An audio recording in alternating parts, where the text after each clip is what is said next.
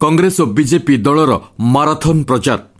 ସାଧାରଣ ନିର୍ବାଚନ ଦୁଇହଜାର ଉଣେଇଶ ପ୍ରଥମ ପର୍ଯ୍ୟାୟ ଭୋଟ୍ ଗ୍ରହଣ ଯେତିକି ପାଖେଇ ଆସୁଛି ବିଭିନ୍ନ ରାଜନୈତିକ ଦଳର ମାରାଥନ୍ ପ୍ରଚାର ସେତିକି ଜୋର ଧରିବାରେ ଲାଗିଛି। ଆପଣମାନଙ୍କୁ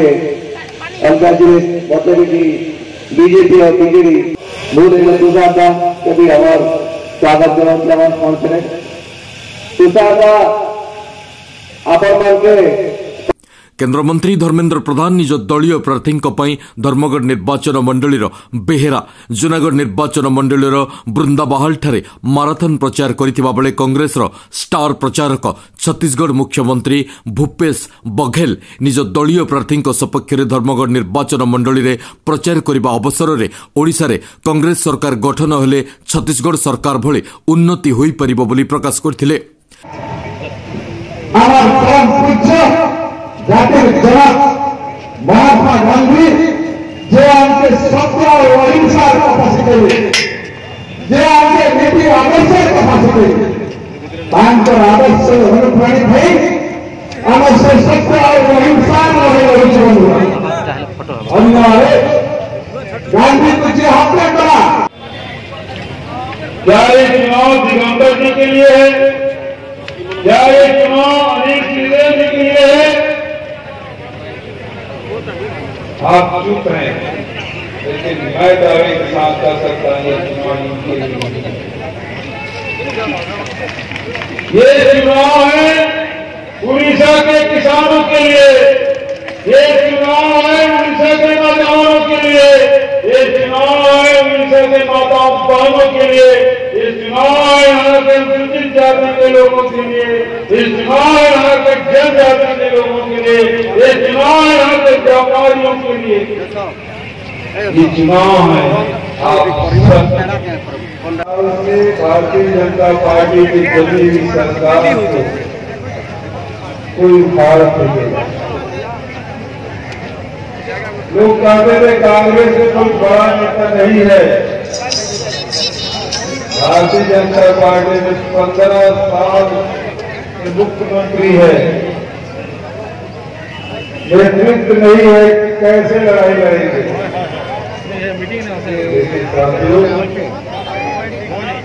कार्यकर्ताओं की फौज और आम जनता के आशीर्वाद। इन दोनों ने मिलकर पंद्रह साल के जमे जमाए सरकार को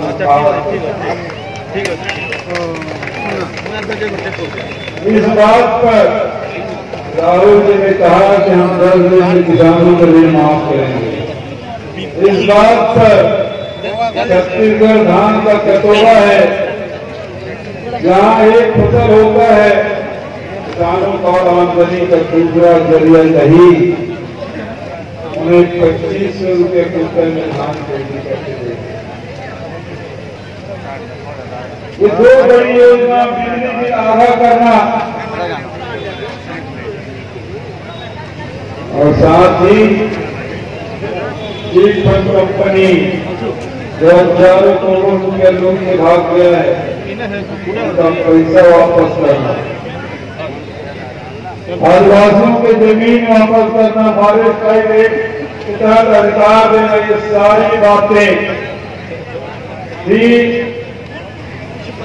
राहुल जी के बात पर विश्वास कर, छत्तीसगढ़ की जनता ने भारतीय जनता पार्टी को सरकार फाड़ फेंका और थोड़ा बहुत नहीं तीन, चौथाई कांग्रेस को जीते नब्बे में से अड़सठ कांग्रेस जीती है।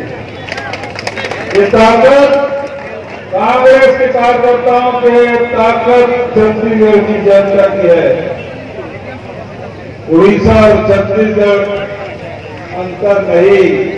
यहाँ की रिश्तेदारी भाईचारा, वहाँ भी धान की खेती होती है यहाँ भी धान की खेती होती है। आप भी जगन्नाथ को मानते हैं, हम लोग भी जगन्नाथ को मानते हैं। आप भी दंतेश्वरी को मानते हैं, हम लोग भी दंतेश्वरी को मानते हैं। आप भी को मानते हैं, हमारे यहाँ भी दंतेश्वरी की पूजा है। अलग अलग हो, लेकिन हमारे खान पान, रहन सहन, सांस्कृतिक विरासत भाईचारा प्रेम, रिश्तेदारी सब एक। जब वहाँ की जनता ने उठाओ फेंका सरकार को